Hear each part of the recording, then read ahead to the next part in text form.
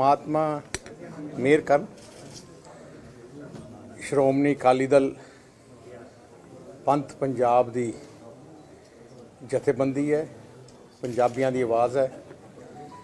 ਪਰਮਾਤਮਾ ਸੇਵਾ ਕਰਨ ਦਾ ਮੌਕਾ ਦੇਣ। ਤੇ ਜਿਵੇਂ ਪਹਿਲੇ ਸਰਕਾਰਾਂ ਦੌਰਾਨ ਪੰਜਾਬ ਤਰੱਕੀ ਹੋਈ, ਪਰਮਾਤਮਾ ਆਸ਼ੀਰਵਾਦ ਦੇਣ, ਅਸੀਂ ਉਹ ਹੋਰ ਤੋਂ ਵੱਧ ਪੰਜਾਬ ਨੂੰ ਅੱਗੇ ਲੈ ਕੇ ਜਾਈਏ। ਤੇ ਹੁਣ ਤੁਸੀਂ ਸਵਾਲ ਜੋ ਪੁੱਛਣੇ ਪੁੱਛ ਲਓ। ਐਗਜ਼ਿਟ ਪੋਲ ਦੇ ਉੱਤੇ ਜਿਹੜਾ ਰਹੇ ਆ ਉਹਦੇ ਤੇ ਕੀ ਕਹੋਗੇ ਜਿਹੜੇ ਐਗਜ਼ਿਟ ਪੋਲ ਹੈ ਮੈਨੂੰ ਲੱਗਦਾ ਕਿਸੇ ਵੀ ਪੰਜਾਬੀ ਨੂੰ ਪੁੱਛ ਲਓ ਕਿਸੇ ਨੂੰ ਯਕੀਨ ਨਹੀਂ ਹੈ ਪਿਛਲੀ ਵਾਰ ਵੀ ਆਮ ਆਦਮੀ ਨੂੰ 100 ਦਿੰਦੇ ਸੀ 20 ਆਈਆਂ।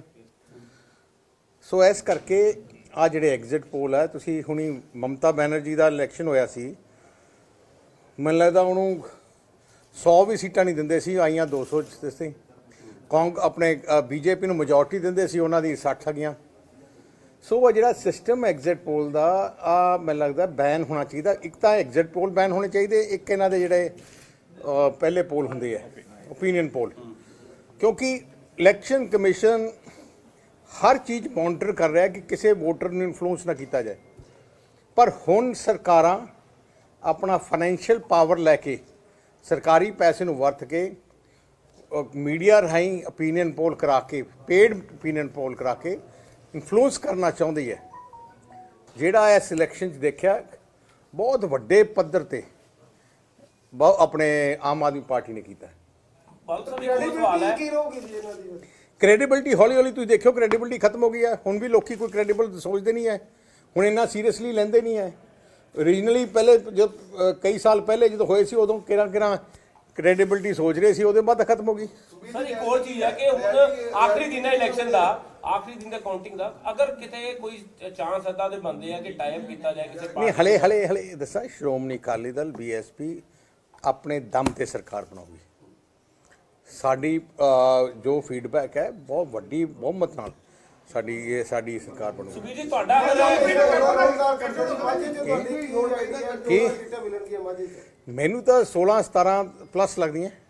ਕਾਂਗਰਸ ਦਾ ਕੀ ਦੇਖਦੇ ਹੋ ਪੂਰੇ ਕਾਂਗਰਸ ਕਾਂਗਰਸ ਸਫਾਇਆ ਮੈਨੂੰ ਲੱਗਦਾ ਕਾਂਗਰਸ ਕਾਂਗਰਸ ਦੀ ਕਾਂਗਰਸ ਦੀ ਮੈਨੂੰ ਲੱਗਦਾ 20 ਸੀਟਾਂ ਤੋਂ ਘੱਟ ਹੋਣਗੀਆਂ ਕਾਂਗਰਸ ਦੀਆਂ। ਲੋੜ ਪੈਣ ਤੇ ਬੀਜੇਪੀ ਲੋੜ ਪੈਣ ਦੀ ਲੋੜ ਹੀ ਨਹੀਂ ਪੈਣੀ। ਸਰ ਯੂਕਰੇਨ ਦੇ ਜੋ ਸਟੂਡੈਂਟਸ ਆ ਰਹੇ ਨੇ ਹਰ ਸਟੇਟ ਦਾ ਸੀਐਮ ਜਾ ਕੇ ਦਿੱਲੀ ਉਹਨਾਂ ਵੈਲਕਮ ਕਰ ਰਹੇ ਬੱਚਿਆਂ ਪਰ ਪੰਜਾਬ ਸਟੇਟ ਦਾ ਕੋਈ ਕੋਈ ਇਵਨ ਲਿਆਉਣ ਦਾ ਵੀ ਕੋਈ ਇੰਤਜ਼ਾਮ ਨਹੀਂ ਕੀਤਾ ਗਿਆ ਉਹਨਾਂ ਨੂੰ ਸੀ ਮੈਂ ਮੈਂ ਮੈਂ ਚੰਨੀ ਸਾਹਿਬ ਨੂੰ ਬੇਨਤੀ ਕਰਨਾ ਹੈ ਵੋਟਾਂ ਪ- ਗਈਆਂ। ਜਦੋਂ ਡਰਾਮੇ ਕਰਨੇ ਬੰਦ ਕਰੋ ਜਿਹੜੀ ਜਿਹੜਾ ਤੁਸੀਂ ਕੰਮ ਕਰਨਾ ਹੈ ਤੁਸੀਂ ਦੋ ਇੱਕ ਦੋ ਦਿਨ ਜਿਹੜੇ ਦੁੱਧ ਚੋਰੇ ਮੈਂ ਹੁਣ ਬੰਦ ਕਰ ਦੇਣ। ਜਿਹੜਾ ਕੰਮ ਜਿਹੜਾ ਕੰਮ ਜਿਹੜਾ ਕਰ ਲੱਗੇ ਹੈ ਉਹਨਾਂ ਕਹੇ ਵੋਟਾਂ ਪੈ ਗਈਆਂ ਸ਼ਾਇਦ ਉਹਨੂੰ ਪਤਾ ਹੀ ਨਹੀਂ ਵੋਟਾਂ ਪੈ ਗਈਆਂ ਤੇ ਹੁਣ ਤਾਂ ਕੋਈ ਇਨਫਲੂਐਂਸ ਨਹੀਂ ਹੋਣਾ। ਜਿਹੜੀ ਜਿਨ ਭਾਵੇਂ ਇੱਕ ਦਿਨ ਆ ਦੋ ਦਿਨ ਮੁੱਖ ਮੰਤਰੀ ਦੀ ਜ਼ਿੰਮੇਵਾਰੀ ਹੁੰਦੀ ਹੈ। ਦੇਖੋ, ਮੁੱਖ ਮੰਤਰੀ ਦੀ ਟੀਮ ਆਪਣੀ ਪੰਜਾਬ ਸਰਕਾਰ ਦੀ ਟੀਮ ਉੱਥੇ ਹੋਣੀ ਚਾਹੀਦੀ ਸੀ। ਇੱਕ ਡੈਲੀਗੇਸ਼ਨ ਉਹਦੇ ਦੇਖਿਆ ਹੋਣਾ, ਬਹੁਤ ਜ਼ਿਆਦਾ ਸਟੂਡੈਂਟ ਪੰਜਾਬ ਦੇ ਹੈ। ਇੱਕ ਐਡਵਾਂਸ ਡੈਲੀਗੇਸ਼ਨ ਆਫਸਰ ਦੀ ਆਪਾਂ ਨੂੰ ਯੂ- ਜਿਹਨੇ ਨਾਲ ਦੀ ਦੇਸ਼ ਹੈ, ਉਹ ਯੂਕਰੇਨ ਦੇ ਨਾਲ ਤੇ ਉੱਥੇ ਭੇਜਣੇ ਚਾਹੀਦੇ ਸੀ। ਆਪਣੇ ਲਾਈਜ਼ਨ ਆਫੀਸਰਸ ਜਿਹੜੇ ਉੱਥੇ ਕੋਆਰਡੀਨੇਟ ਕਰਨ। ਪਰ ਇੱਥੇ ਕੋਈ ਇੰਟਰਸਟ ਹੀ ਨਹੀਂ ਹੈ। ਕਾਂਗਰਸ ਨੇ ਕਾਂਗਰਸ ਕਾਂਗਰਸ ਇਲੈਕਸ਼ਨਸ ਤੋਂ ਬਾਅਦ ਸੀ ਕਾਂਗਰਸ ਹਾਰ ਮੰਨ ਕੇ ਚੁੱਕੀ ਹਾਰ ਚੁੱਕੀ ਹੈ ਤੇ ਇਸ ਕਰਕੇ ਉਹਨਾਂ ਦਾ ਇੰਟਰਸਟ ਹੀ ਕੋਈ ਨਹੀਂ ਰਿਹਾ। ਸਰਕਾਰ- ਸਰਕਾਰ ਬਣਨ ਤੋਂ ਬਾਅਦ ਐਜੂਕੇਸ਼ਨ ਨੂੰ ਲੈ ਕੇ ਨਵੀਂ ਸਰਕਾਰ ਦੀ ਕੋਈ ਮੈਂ ਉਹੀ ਕਹਿ ਰਿਹਾ ਸਾਡਾ ਮੇਨ ਏਜੰਡਾ ਐਜੂਕੇਸ਼ਨ ਦਾ ਹੈ।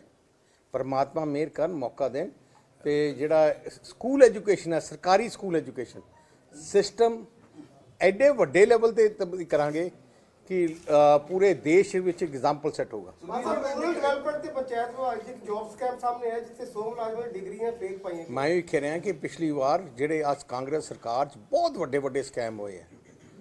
ਆ ਨੌਕਰੀਆਂ ਦੀ ਵੀ ਸਕੈਮ ਹੋਏ ਆ ਸਕਾਲਰਸ਼ਿਪ ਦੀਆਂ ਸਕੈਮ ਹੋਏ ਆ ਤਾਈਓ ਤੁਸੀਂ ਦੇਖਿਆ ਪੰਜਾਬ ਦੀ ਜਨਤਾ ਨੇ ਉਹਨਾਂ ਨੂੰ ਬਿਲਕੁਲ ਨਿਕਾਲ ਵਿਕਰਮ ਜੀਠੇ ਦਾ ਪਰਚਾ ਹੋਇਆ ਉਹਦੇ ਤੇ ਕੀ ਕਹਿਣਾ ਚਾਹੋਗੇ? ਕਿਉਂਕਿ ਕੱਲ ਅਸੀਂ ਪਹਿਲੇ ਵੀ ਕਿਹਾ ਸੀ ਬੜਾ ਕਲੀਅਰ ਝੂਠਾ ਪਰਚਾ ਹੈ।